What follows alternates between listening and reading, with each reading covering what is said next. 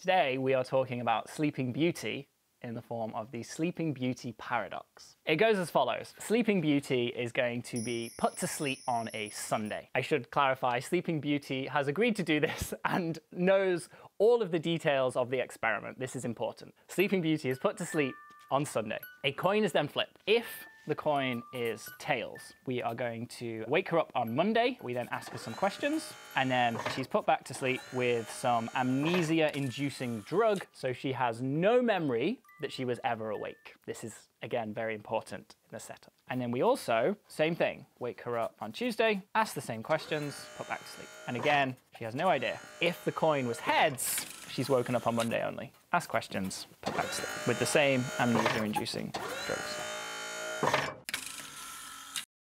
Sleeping Beauty is put to sleep. We flip a coin. If it's tails, we wake her up on Monday, ask her some questions, put her back to sleep. She doesn't know it was Monday. She doesn't know what happened to the coin. She has no idea when she wakes up what's going on. Put back to sleep with no memory of that incident. She's woken up on Tuesday. Same thing. Ask questions, put back to sleep. Has no idea it's Tuesday or what's happened. Or if it was heads, we just wake her up the once and then ask her the questions, put her back to sleep. Nothing happens on the Tuesday. And in both cases, the experiment ends on Wednesday. So she's woken up and she's free. And she knows all of this before the experiment begins. So she is aware that she may be woken up twice or once, depending on the outcome of the flip of that coin. Tell you what, as a recent father, the idea of sleeping from Sunday till Wednesday sounds lovely. Okay, sleeping Brady, not sleeping Beauty. Anyway, okay, okay. On Wednesday, she's woken up. Experiment ends. Okay. Now, when I say here ask questions, there's a key question that we're going to ask Sleeping Beauty. And the question is we're going to ask her, what does she believe is the likelihood or the chance or the probability that the coin was ahead on the situation she is in at that moment of having been woken up? So, Sleeping Beauty is woken up on a Monday or a Tuesday. She has no idea. She has nothing that can help her set, figure out which day it is. There's no secret clock or calendar. She has no idea. She's just woken up and asked, What do you think the probability was that we got ahead on that coin? And of course, the idea being she could have been woken up on a Monday and it could be the first of the tails wake ups. It could be the Tuesday, which means it would have had to be tails, or it could be the Monday, but it could have been the only wake up on the Monday. But because her memory is wiped after each wake up, she doesn't know if it's once or twice or anything. So that's the question. What's the probability that the coin was ahead? Now, there are two, both well supported trains of thought as to what the answer to this question is. And I'm sure everyone watching has their own opinion right now of what they think the probability is. Well, I'll try and figure it out. She's asked the question either. Is she asked the question when she wakes up as well? No, not in the end. No, the she's experiment not just asked on ends. Wednesday. No, no, no, no. That's just Okay, so she's asked the question either two or three times. No, she's asked the question either one or two times. yes. So I reckon. Oh, let me think for a second. Two thirds of the time, it was a. Oh, I was going to say two thirds of the time, it was a tail, but she's asked the question. So she's asked the question twice on a Monday, and she's asked the question once on a Tuesday, but she's asked the question less often on a Tuesday. So, I don't know. What was the probability that the coin was ahead? Uh, yeah, 50 50. Well, valid answer, right? Option one, it's called the halfer approach to the problem, is literally I flipped a coin on Sunday. Who cares when Sleeping Beauty was woken up? I flipped a fair coin. It's a 50 50 chance. The probability of it being ahead is a half.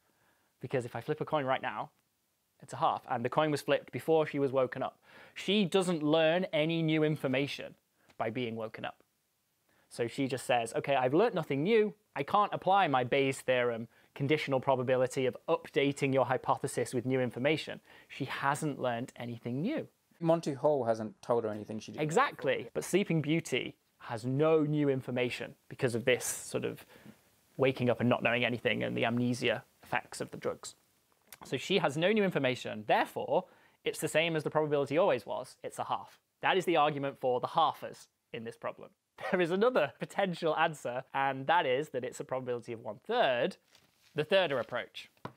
So, Sleeping Beauty does not know what day she is woken up. Suppose we are Sleeping Beauty and we can say, okay, well, let's assume it was a tails. What can I learn in that particular situation? Now, if we got a tails, what does that tell us? That tells us we are going to be woken up twice. Therefore, when we are woken up and asked this question, having assumed that it was a tails in our own head, we are like, okay, this could be either Monday or Tuesday, and they are equally likely. There's nothing to distinguish between those cases. So we can say the probability of it being a Monday, given it was tails, because we assumed it was tails, is therefore equal to the probability of it being a Tuesday, again, given I assumed it was a tail. It's equally likely it could be in one of these two situations. Now, we have law of conditional probability, tells us the probability of A given B is the probability of A intersect B divided by the probability of B. So we can apply this here and say, so this one is the probability of Monday and tails divided by the probability of being tails, and this one is the probability of Tuesday and tails divided by the probability of being tails.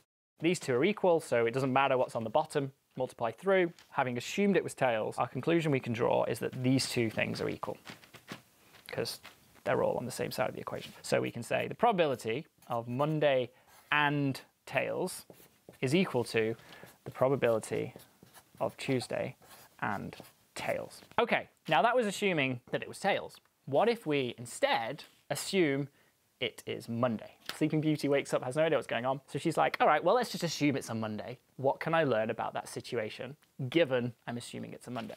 Same kind of idea we could be either this one, the first wake up for tails, or the only wake up for heads.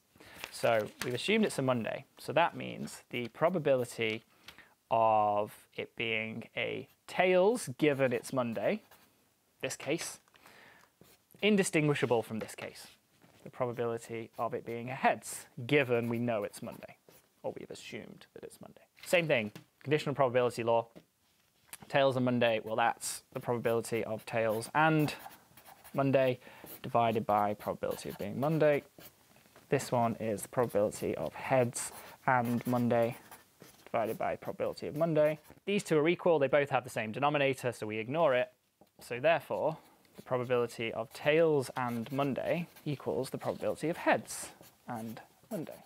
Now, we have this equation and we have this equation. So we've got Monday and tails, tails and Monday, they're the same thing. In both cases, it's a Monday and tails is flipped. So this one's equal to Tuesday and tails, and same thing is also equal to heads and Monday. So what we've done here is actually shown that these are like equal, all three things are the same, and all three of them are exactly case one, case two, and case three of our original list. We made some assumptions, did some conditional probability, and it allowed us to arrive at the conclusion that all three of our situations actually are equally alike, likely to occur. The total probability has to be one. These are the three possible events. They are all equally likely. Their total probability has to be one. It's the law of total probability. The only solution then is that each individual event has a probability of one third. Because they're all equally likely and there's three of them. So we say, okay, so the probability is a third for each situation. So it's, it's a probability of a third that it's a Monday and tails was flipped. Probability it's a third that it's a Tuesday with tails flipped, and probability a third that it was a Monday with heads flipped. So what's the probability that the coin was heads? One in three. One of the three situations has a head. They're all equally likely. So the probability the coin was a head is a third, and that is the thirder argument. No, but there's a change. I think there's a slight change there, just at the last minute. Saying those three things are equally likely is not saying is not the same as saying, is it likely the coin was a tail or a head? Because once the the coin is flipped, a whole whole different paths are, are opened up and different things are done, and it's those mm-hmm. paths and things you're doing the probability of, not the coin itself. Mm-hmm. So we're we're not we're asking Sleeping Beauty, not was it a head or a tail, but which sort of mash up combination of things that happened mm-hmm. is playing out at the moment. this this is okay. I both of these are valid arguments. Both of these have supporting mathematical statements using Bayesian statistics, using conditional probability. You can argue for both of them in different ways. Both of them are accepted by mathematicians. That is why it's a paradox, because it feels like you, you can argue successfully for either of them and you can argue against either of them. Now, there is an interesting extension which might help to convince you, at least, Brady, about the one third situation, and that's called the Rip Van Winkle extension to the problem. If we get a head, Sleeping Beauty is woken up once. Same rules, same experiment, but just once. If we flip and get a tail, Sleeping Beauty will be woken up 999 consecutive times. It is the same setup as we had, but instead of being once for heads and twice for tails, it's now 999 times. Big old sleep, hence the name Rip Van Winkle. Now, if you follow through the third uh, argument, or even if you just think about it, if you're in the position of Sleeping Beauty, if I wake up as Sleeping Beauty, there are 1,000 potential events or 1,000 potential situations I could be in. And in only one of those possible situations did a head come up on that coin. So if I'm a betting princess, I am definitely saying that I've got to go with tails. Here's here's the thing though. Then Th- that's what I mean about my paths. When you wake her up, Yeah. you're not asking her, was it a head or a tail? You're asking her, are you on the path that resulted from a head? Or are Yeah, you on the uh-huh. path that resulted from a tail? Because, yes, of course, it's more likely she's on the path that resulted from a tail because she gets woken up multiple times. Mm-hmm. Like if I said to her, every time you're asked the question, if you answer it correctly, I'm going to put $1,000 in your bank account. Yeah, Oh, you're going to say tails. you will say tails Yeah, because yeah. you're woken up twice Exactly. for tails and you're Yeah. woken up once for heads. So I agree. If the question is which pathway are you on, yes, I'm on the tails pathway. But if you ask when that coin was tossed on Sunday while you're asleep, was it a head or a tail? Well, But does that not then come back to the question of, so you could say which path are you on, Hmm. and as you're saying, it's like, well, clearly I'm on the tails path. Hmm. So then, could I not then say, okay, so you're saying it was much more likely that I got a tails on that coin, i.e., the probability that coin was a tails was no, more than no, fifty percent. no. It's more likely I'm on the path that resulted from the tail. Okay. Yeah, yeah, yeah. Yeah, and I think it, it's. I'm really glad you picked up on this because that is kind of the the philosophy extension to this problem. So I researching this, I, I first heard about this from one of my students, in fact, and I just thought it was such a brilliant niche little problem that just really gets you thinking. And again, both solutions are actually equally credible from a mathematics standpoint.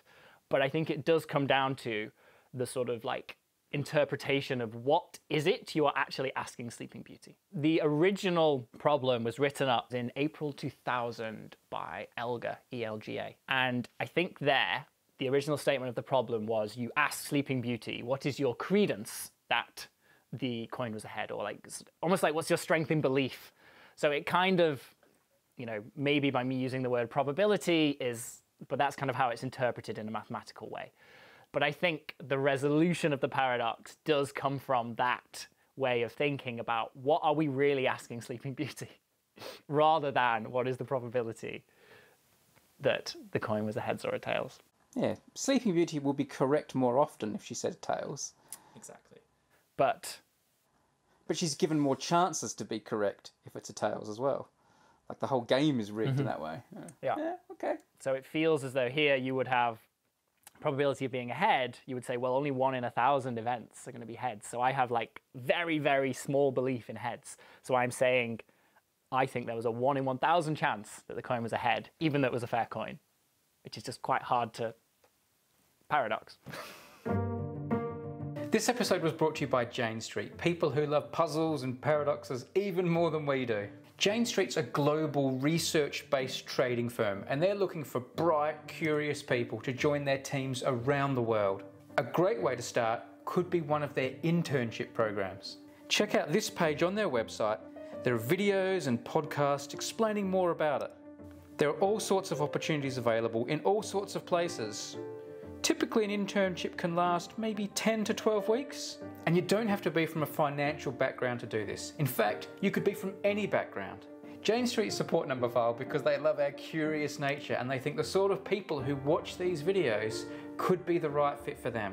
I'll put a link in the video description so you can check out more about their internships, jobs, everything else. String. It's super exciting. We think they're going to be really common. They're not. Uh, the next one is at 16,470. So I'm definitely not writing out 16,000 digits of pi. That, that's, that's a, a, job for the viewer. And then after that, we then jump up to 44,899. You've, you've accelerated. Your speed has changed with respect to time. Or you decrease your speed, you've decelerated. So that's what the first term is going to describe. And then we also need the mass. You think of mass in this situation to be a density.